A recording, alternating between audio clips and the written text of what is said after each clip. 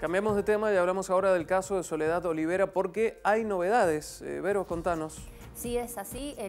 uno de los querellantes por la Secretaría de Derechos Humanos de la Nación, eh, Fernando Peñalosa, confirmó que ya le llegó la comunicación de que la sentencia y la condena contra Mariano Luque, el único acusado por el homicidio de Soledad Olivera, ha quedado firme.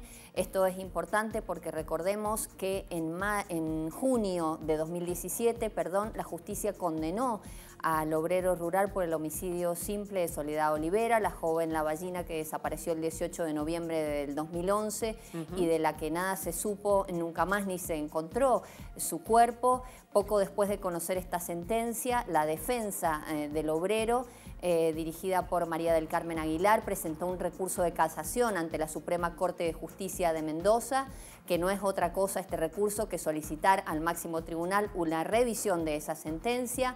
En mayo de 2018 de este año, la Corte eh, confirmó la sentencia contra el hombre.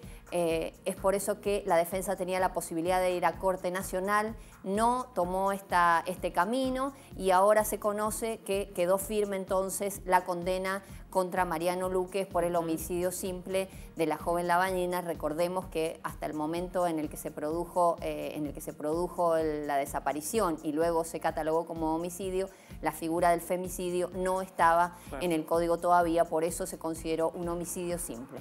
Respecto al caso de Joana Chacón, ¿también hay novedades? Bueno, eh, esta sentencia, esta confirmación de la sentencia es importante justamente porque Luque, que está cumpliendo eh, la condena, se enfrenta a un nuevo juicio por eh, el homicidio de la adolescente Joana Chacón que desapareció un año después de lo que sucedió con Olivera, también en el mismo lugar, en 3 de mayo en La Valle.